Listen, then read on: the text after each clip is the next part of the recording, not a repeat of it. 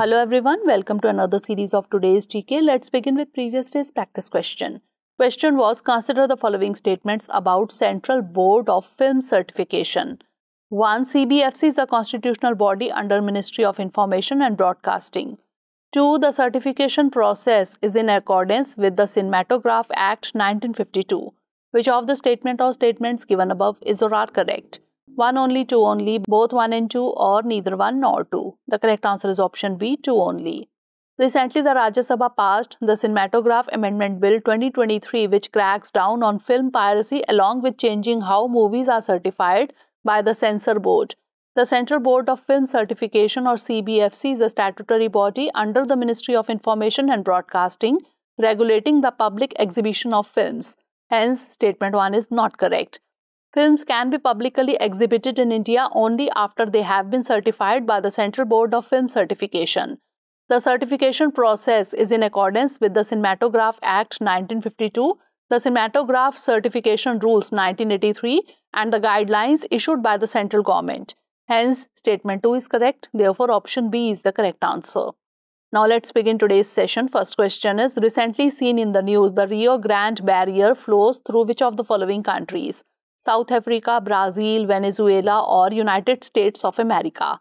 The correct answer is option D, United States of America. Recently, the Biden administration has sued Texas over a floating barrier installed by the state in the Rio Grande River to deter migrants on the US Mexico border.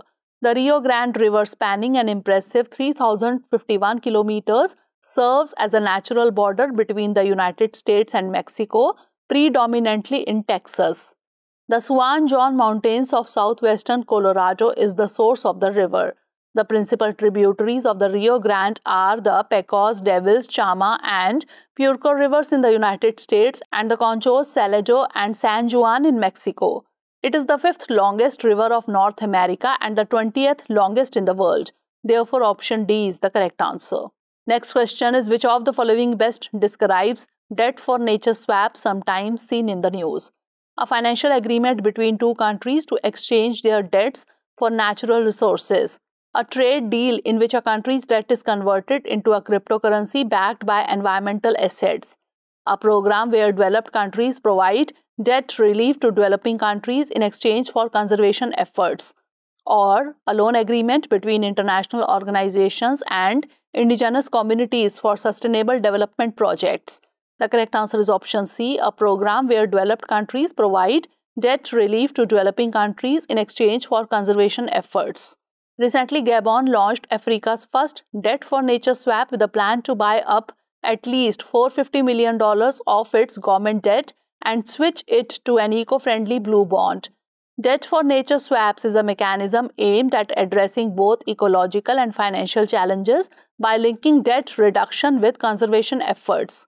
In these swaps, a developed country or international organization agrees to cancel or reduce a portion of the debt owed by the developing country. In return for the debt relief, the developing country commits to invest in environmental conservation and protection initiatives. The funds freed up from debt reduction are redirected towards conservation projects such as preserving forests, protecting wildlife habitats, promoting sustainable agriculture or implementing eco-friendly practices. Therefore, option C is the correct answer. Next question is sometimes seen in the news. The PM SVANidhi scheme is an initiative of which of the following ministries? Ministry of Housing and Urban Affairs, Ministry of Agriculture and Farmers Welfare, Ministry of Rural Development or Ministry of Social Justice and Empowerment. The correct answer is option A, Ministry of Housing and Urban Affairs.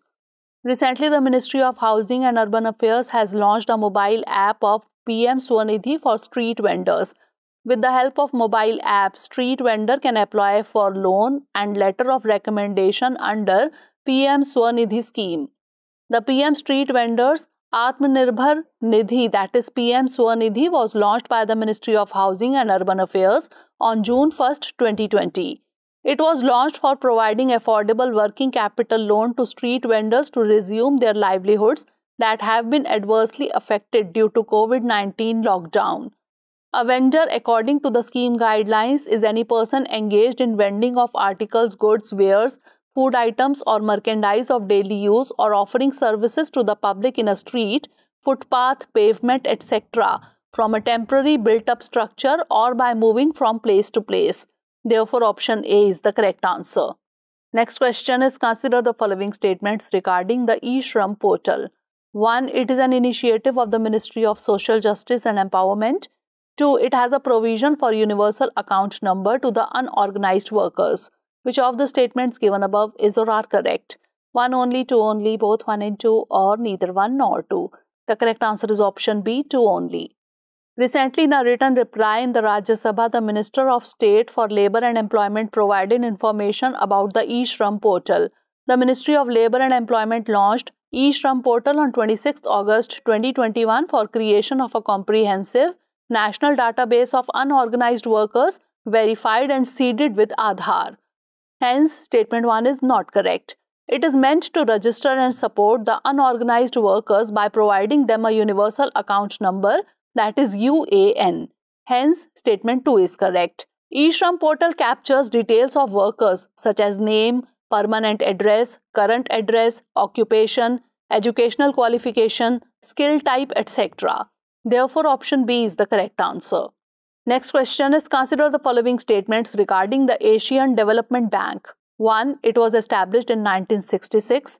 2. It is headquartered in Kuala Lumpur, Malaysia. 3. India is its founding member. How many of the statements given above is or are correct? Only one, only two, all three, or none. The correct answer is option B, only two. Recently, the Asian Development Bank, that is ADB, and the Government of India signed an agreement for a $295 million loan to upgrade around 265 kilometers of state highways with climate and disaster resilient design and road safety elements in the state of Bihar. The ADB is a regional development bank established in December 1966. Hence, statement 1 is correct. It is headquartered in Manila, Philippines. Hence, statement 2 is not correct. It aims to promote social and economic development in Asia and the Pacific. India is one of the founding members of the ADB. Hence, statement 3 is correct. It has 68 members, 49 are from within Asia and the Pacific and 19 are from outside. Therefore, option B is the correct answer. Next question is which of the following is used in making of beedis? The leaf of tendu plants, the leaf of Indian bean tree, the leaf of Indian coral tree or leaf of catalpa tree. The correct answer is option A, the leaf of tendu plants. Recently, the Union Minister of State for Labour and Employment in a written reply in the Rajya Sabha gave information on welfare measures that have been taken for the beedi workers and their family members. Tendu leaves are used to make beedis, an indigenous leaf-rolled cigarette made from coarse, uncured tobacco, tied with a colored string at one end. The leaf of Tendu plants, that is Diospyros melanoxylon, is a plant that is native to India and Sri Lanka. A beedi is a thin cigarette or mini cigar filled with tobacco flake. Hence, option A is the correct answer.